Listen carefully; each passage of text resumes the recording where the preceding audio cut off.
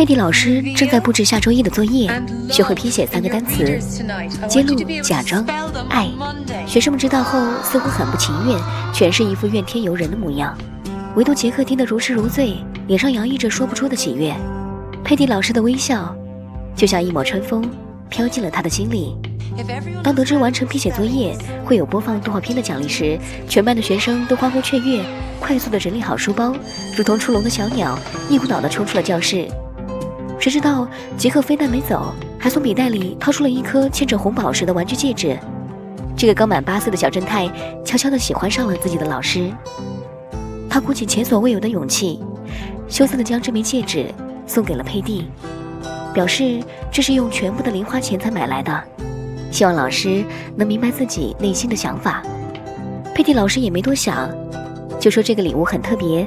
说完，当场便戴上了戒指，甚至开起了玩笑。难道是代表订婚的意思吗？杰克的眸子闪闪烁烁，吞吞吐吐的回答：“我想应该是的，但前提是老师要愿意。”而佩蒂的回答也有趣，表示这很真诚，他会仔细考虑一下。没想到老师随口说说的话。瞬间让杰克有走上巅峰的感觉，还以为真的将收获一份爱情。欢迎收看小声电影，我是小麦。这一次分享的短片叫做《情窦初开》。在吃晚饭的时候，杰克迫不及待地问妈妈：“男孩多大才可以结婚？”杰克的父母被问得哭笑不得，还以为学校发生了什么新闻大事。他们怎么也不会想到，人小鬼大的儿子已经情窦初开。回到房间，杰克用活水笔在纸上写下。Mary m a s 更加坚定自己长大之后要娶佩蒂老师的美好愿望。时间来到周末，杰克被母亲拖去逛街。他穿着一双新鞋走在路上时，非常意外地碰到了佩蒂老师。对方夸赞他的新鞋不错，并说自己也有一样新的东西。只见佩蒂伸出手，亮出手指上的那枚钻戒，这让杰克的心中立马腾起灼人的妒意。可随着佩蒂未婚夫的出现，更是击碎了他之前的愿望。与此同时，杰克从对话中得知，未婚夫宁可看足球比赛，也不肯陪佩蒂吃午饭。他便固执地认为，这个自私自利的男人根本配不上自己的心上人。怅然若失的杰克一直认为无法和对方竞争，可当偷偷摸摸地看到父亲把一支枪藏在衣柜中时，他的内心开始盘算起一个害人的计划。他先是在放学后满脸委屈地表达了内心的爱慕之情，佩蒂老师被搞得一脸懵逼，还以为他出了什么事情。杰克一本正经地表示：“我可不会为了足球赛而错过和你吃午饭。”接着，他又在停车场带着未婚夫，严肃地提出禁止和佩蒂结婚的要求。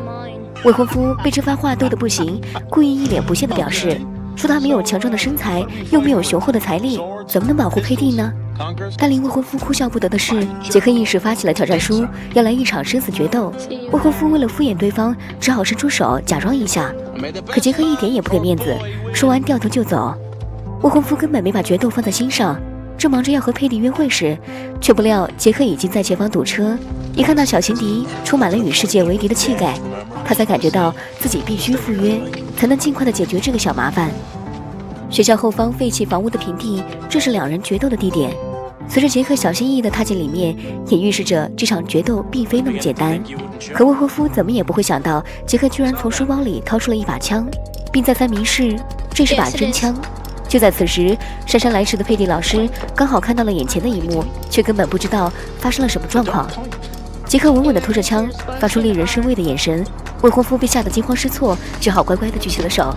杰克说道：“你不许和佩蒂小姐结婚，你不配。”面对如此逼迫。未婚夫先是痛斥女友的不作为，说他怎么还不去报警？可杰克却不顾佩蒂老师的劝阻，死活就要用枪解决掉这个人。未婚夫认为有周旋的余地时，还想和对方讨价还价。直到杰克开始扣动扳机，这个男人立马原形毕露，狼狈不堪地跪在地上，浑身颤抖地痛哭求饶，说自己根本不想和对方结婚，只是受不了老女人的催婚。当看到杰克依然不为所动，他又开始骂佩蒂是个婊子，说怎么还不去阻拦？突然枪声响起，画面漆黑一片。结果再次出乎我们的意料，一个橘黄色的塑料小球滚过，倒地的未婚夫眨了眨眼，才明白刚才是虚惊一场，不过是杰克玩弄的恶作剧。